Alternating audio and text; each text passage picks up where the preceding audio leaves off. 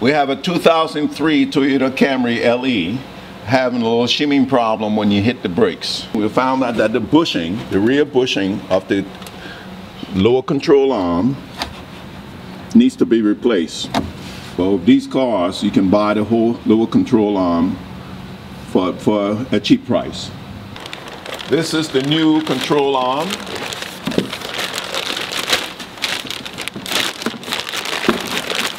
This one is for the right side of the car. It comes with a new with all new bushings and a brand new ball joint and nut. We're gonna need a 22 millimeter socket, a 19 millimeter socket, a breaker bar, and a box wrench. 19 on one side, that's the only side we'll be using.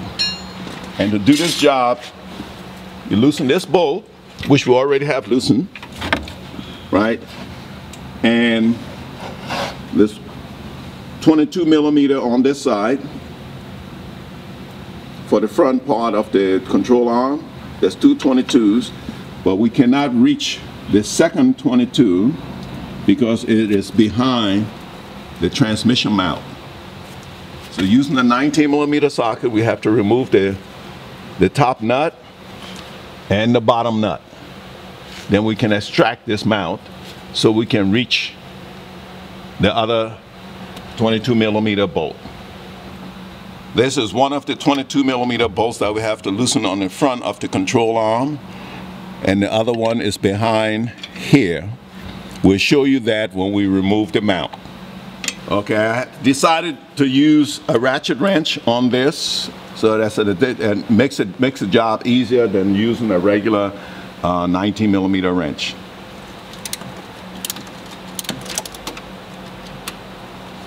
This is the top nut for the transmission mount. But make sure you jack, so put the transmission mount on the jack, the transmission casing on the jack, and jack that up in order to hold the transmission up when you remove the, the mount. already prior loosen the, the bottom one. And now we're gonna jack the trans out and remove the mount.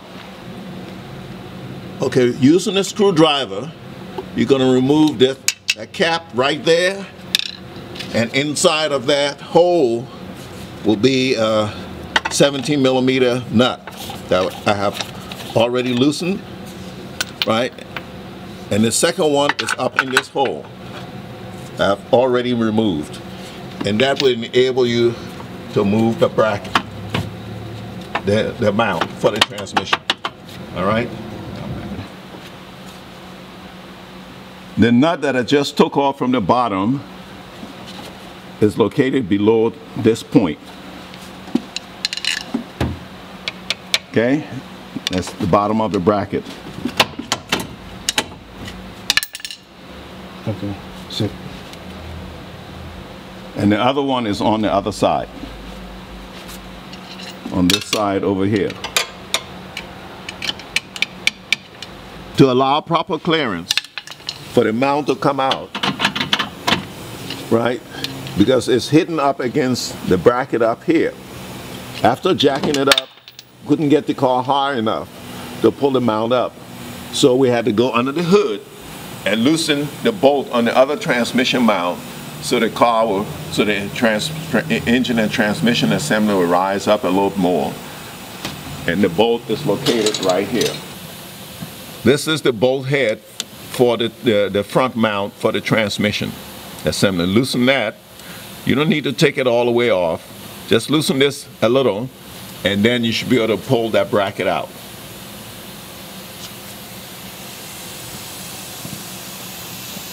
Now we have proper clearance to pull this bracket out of the way. Then we can reach the, the, the other 22 millimeter bolt. Now I'm going to extract this bolt.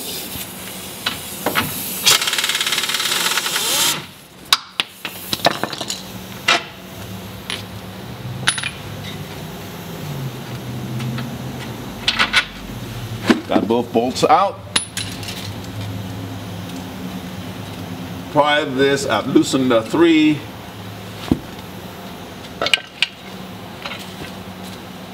and bolt that holds their ball, their, their ball joint on to make it easier to get uh, this bolt, which locks the ball joint into the um, spindle.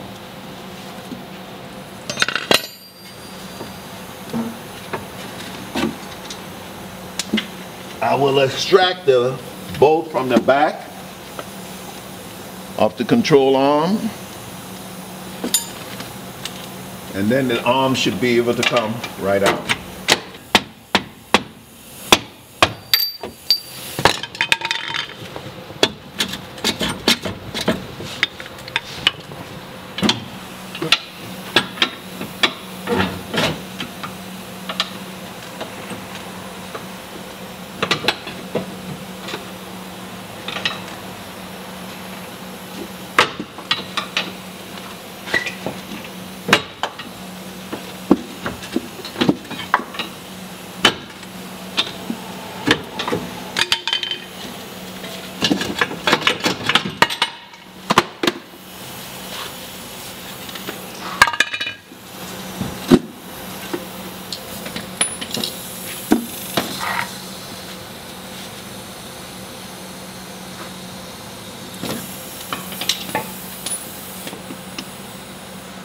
I don't know if you can see it, but there's cracks all along here, right, where the rubber is separating from the metal housing. This one is not that bad, but the customer could feel those shimming when he brake. To remove the ball joint, I could have done this with the control arm already on it, the old control arm on problem was I couldn't get to the cotter pin to extract it. So I loosened this, these, these three uh, nuts, removed the control arm, then I was able to extract the cotter pin, right? And then loosen this nut. Now you can, eat, after loosening the nut, you can either use a fork if you have one to separate the ball joint from the spindle or you can use a, a, a, baby sledge and beat on this point right here and that will jar that loose. Once it's loose, remove the nut.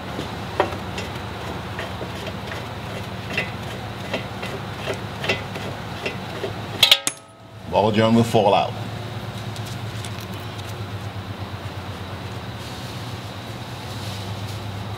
And it's all good. It's, it's good that we went with the whole complete unit because as you can see, this ball joint is very loose. It's not bad, but it's very loose. It should be very tight. I will show you on the new one that you can hardly move it. Okay, this is the new ball joint. I have to apply a lot of force to move it around. Okay? This piece right here came off the end face of the front control arm bushing, the flange of that, that faces the back of the car. That's where this came from. If you missed it when it was coming off, check the other side of the car. Mm. Slide is in.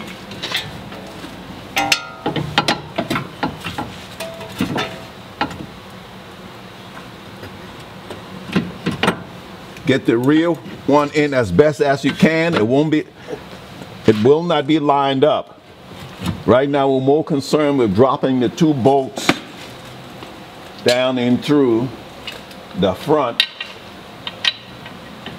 control arm bushing flange just to hold it in place.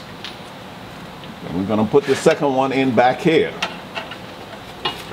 Might not be able to see it right now, but Second bolt goes in back here.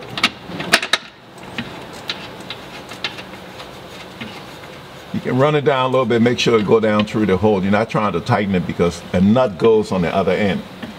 just trying to get it further down in the hole. Like the front one is not going down, so that's fine.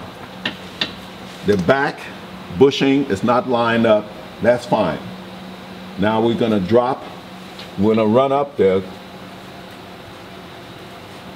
tie, um, the ball joint into its place on the spindle.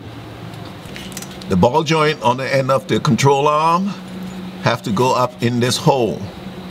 But we need a jack to help us jack it up in there. So we're gonna position the jack right underneath here. I'm gonna locate this up to the hole. Now that it's in the hole, we can jack it up slowly.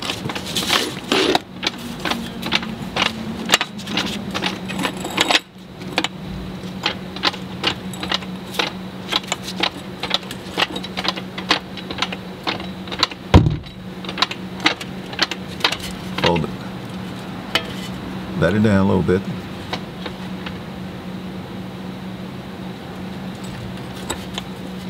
Okay, jack it up. Make sure when you're doing this, you don't grab hold of the backing plate, which would be this plate right here, and bend that, okay? Take it up.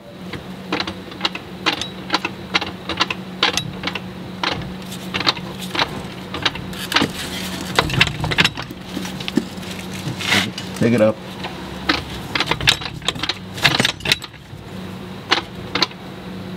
Just wiggle it around as he jack it up. You need somebody else with you to do this. Okay, stop. Now we can put the nut on there because we have enough of that ball joint thread protruding. All right, put the nut on there. Let your jack down. Make sure you don't drive that ball joint all the way up because you might have a little problem getting the nut on because of the you know, uh, CV joint, which is right here. Okay, now the nut is on there. I'll run it down a little bit and leave and leave it just like that. And then go back onto the putting the rest of the bolts in for the front and the rear bushing. Just for, for your information, this subframe right here have threads in it for these two 22 millimeter bolts, this one and the one in the back, right? So do not force this through. Screw it down into the hole, else you will mess, if you start banging on it, you will mess up the thread. Make sure you start it by hand first. And if you're using power tool, make sure you turn it about three or four turns before you apply the power tool. I'm gonna run these two down.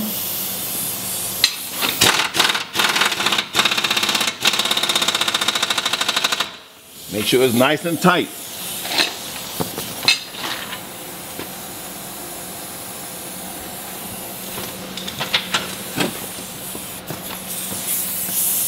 The back one.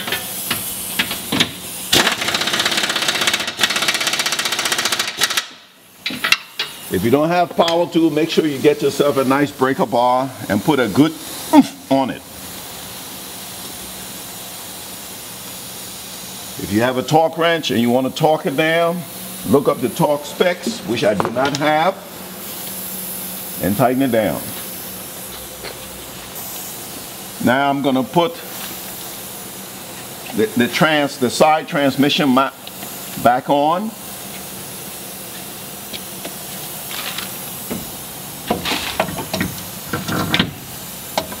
All you have to do is drop the three studs on the bottom, drop them down in the hole, one on the top.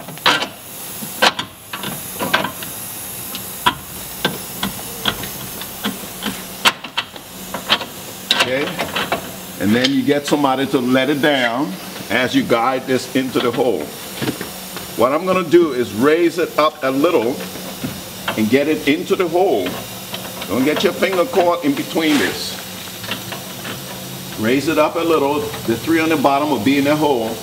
The top one will be in the hole a little bit. And then you ask your buddy to let it down. Go ahead, let it down. Good. Let it down. Okay, once it starts going up in there, you can let go of it. If you get your finger caught between the transmission uh, mount and that flange, you will holler. Okay, we're gonna replace these two nuts right here. One here, and the other one I cannot see because I'm not under the car. I have to feel. And the other one right here. This one is already in place. I'm gonna screw this back up. And then I'll hit it with the air.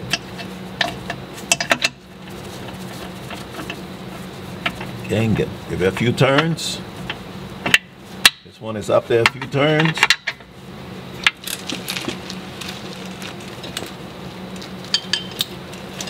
Air gun. That on. Good. Some pressure. Gonna at the same time I'm gonna tighten off this one on the for the mount and these others. Right?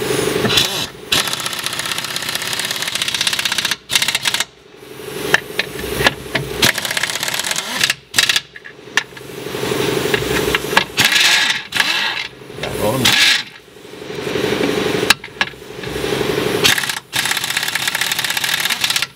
And tighten all of them tight now.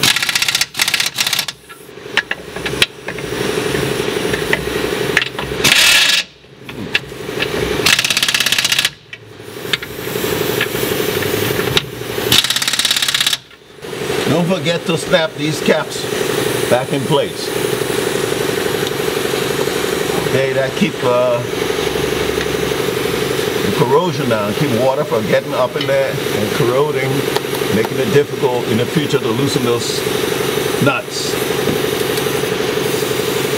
We had a little problem lining up the rear bushing hole with the hole in the subframe to get the bolt up in there.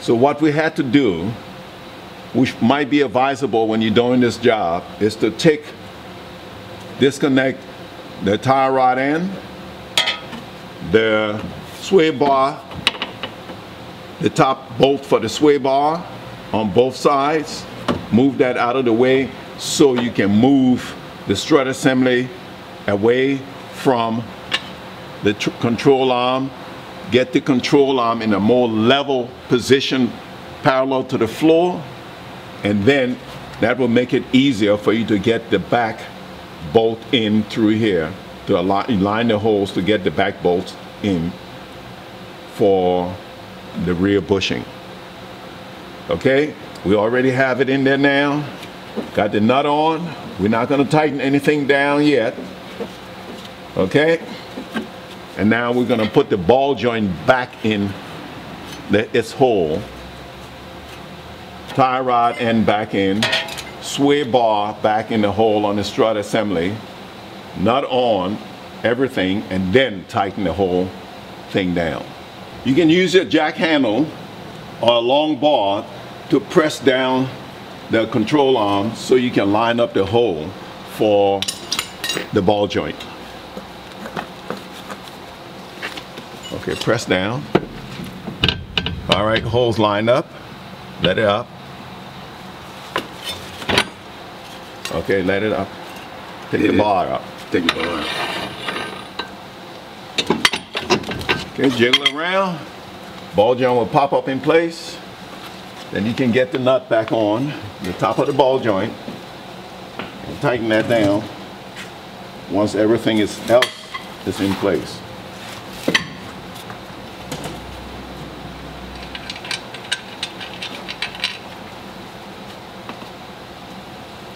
I'm gonna put tie rod end back in place. Sway bar. And we leave the sway bar loose because we're gonna be doing the other side. But with, um,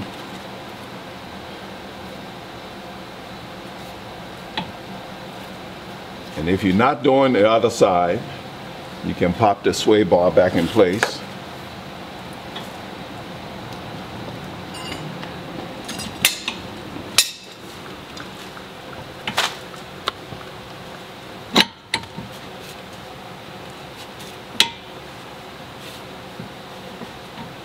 Okay, just run it, run this of the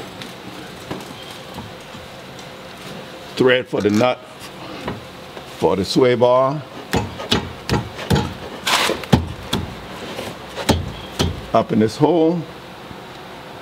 Having a little problem there because there's not enough space between, normally it would be easier, but this, this, this sway bar, has a grease fitting on this end so it's not allowing me enough clearance here. We could take the grease fitting off and it will pop right in. But since we're doing the other side, we're not gonna bother to do that now, okay? Get down with your ratchet wrench or your regular 19 millimeter wrench. You can tighten the top nut on the transmission mount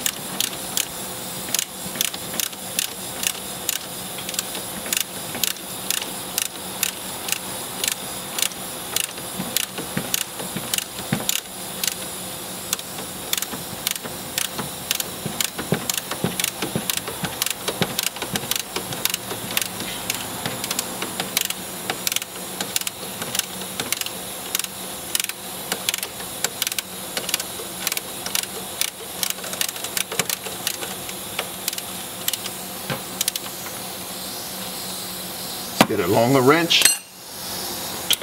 We can put more torque on it.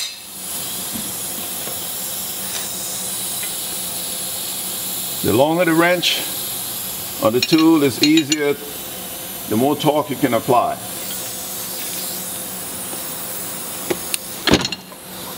Watch you don't bust your knuckles. And in fact, when you're doing stuff like this, try and keep your hand open. Because if you keep a fist like that and it slips, you might get some skin taken off your knuckles. Okay, that's tight. And we're going to tighten this one here by using the impact gun.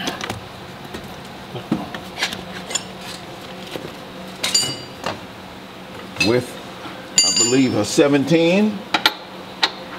No, I'm sorry, that's a 19. And uh, a 19 up top.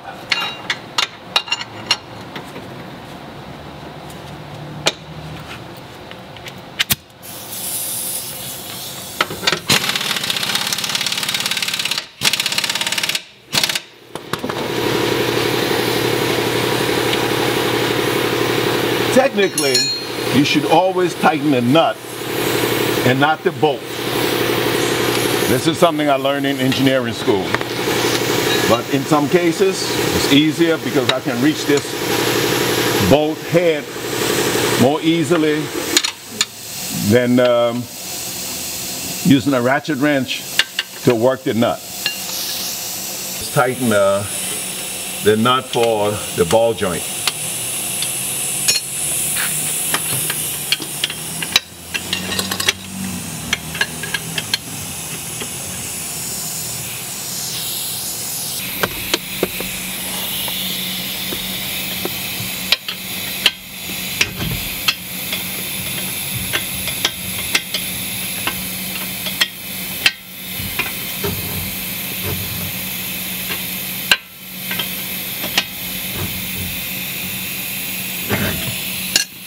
Okay, once you tighten that, you run the cotter pin back in it, and you're good to go. Correction. Please do not do what I was about to do. Is forget to put the tie rod and nut back on and lock that with a cotter pin because you will lose control once you hit the first bump or something. Make sure that it holds for the cotter pin lines up and then run the cotter pin through it. Cotter pin will only go on the castle nuts, the nuts that look like a castle top. This will be a castle nut, what I call a castle nut.